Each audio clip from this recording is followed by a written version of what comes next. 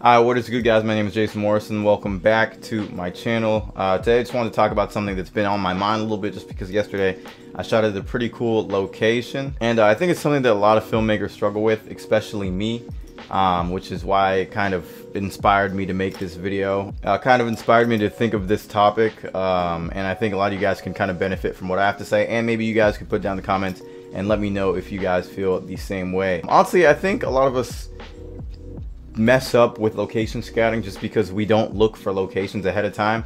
I mean, I have probably looked for a location ahead of time like a handful of times. Maybe I could count it on one hand, you know what I mean? Like I really don't um, go out with the intention or not even go out because by that time you're already outside, but like I don't go into a shoot or wanting to make a project with location scouting in mind. I don't try and look for a really dope spot before I, you know, get my stuff together and go shoot. I just kind of grab my stuff, go out, try to find a dope spot, and then kind of work with what I got out there, which is fine. I mean, I'm sure a lot of you guys do the same thing as well, but I feel like it's not a very efficient way to make films or make videos depending on what type of video you're making like if you're making a music video or whatever running gunning and just trying to find a dope spot can work but i feel like location scouting would definitely help you like 10 times more before that. But i think a lot of us kind of fail to use our environment in an interesting way.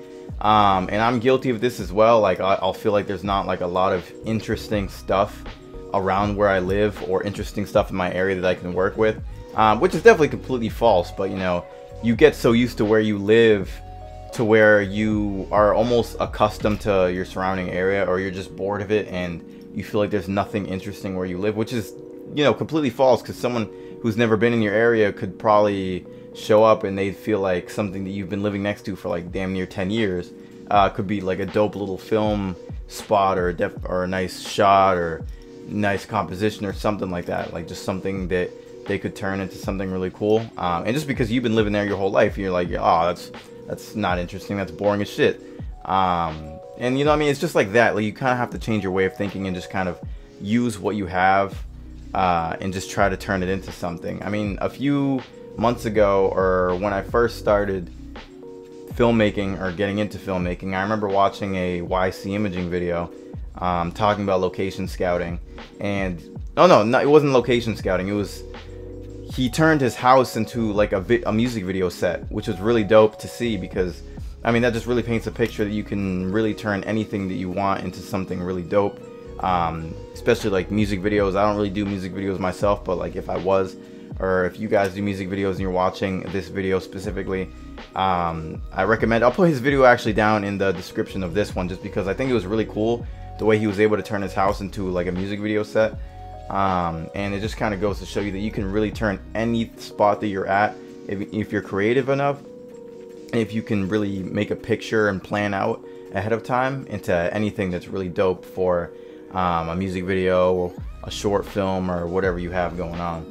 I also feel like a lot of us think that we need to live in like a really big city, um, like LA or NYC, um, you know, Miami or whatever. But I, I mean, I think that's completely false. Even though I be thinking that sometimes, like I want to go vacation or like visit NYC one day, just like get some like really dope um, clips and just shots and all this other stuff. But I mean, you really don't need that like I said, you can really turn anything into something creative. I mean, I'm sure there's something dope from you even 30 minutes away. Like even if you live in the middle of nowhere, I'm really sure that you could find something that's pretty dope. Like a really dope spot that you've never even thought of, never seen. Um, like just super close to you, 30 minutes away, an hour away.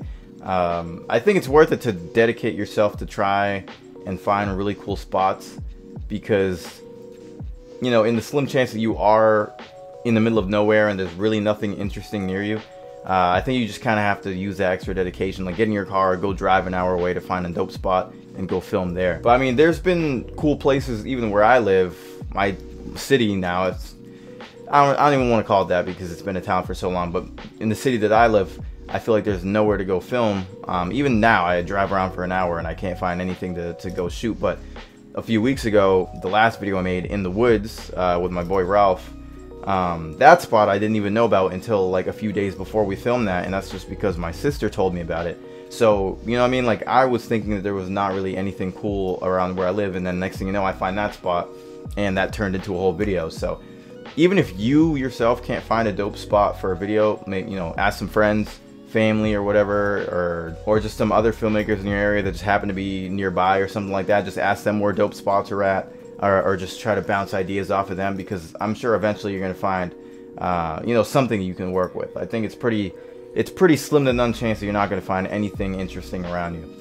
But at the end of the day, I feel like the biggest reason why new filmmakers, uh, me included, obviously struggle with this is just because we're going in very closed-minded. Um, some of us, I mean, I don't know if it's just me or if other people struggle with this as well, but you don't want to like go out and film when there's a shit ton of people around you or the area you're at isn't like an opportune place to, to film. But honestly, man, like I say, screw all that. I say just use whatever you got, whatever surroundings you have. Go in very open-minded, um, whether there's people around you, whether whether the spot isn't like anything too crazy like i'm sure you can actually find interesting composition interesting little places to get some sort of shoot out of really anything i mean if he can turn his house into a music video set i'm sure a lot of us can turn whatever we can into something interesting uh, but without me rambling i feel like that's kind of what i wanted to get off my chest and i think a lot of you guys will probably relate to me so put down in the comments if you guys um, kind of struggle with finding locations to go film as well and uh, make sure to drop a like on this video because I'll be putting out more videos just like this. I have more videos in the tuck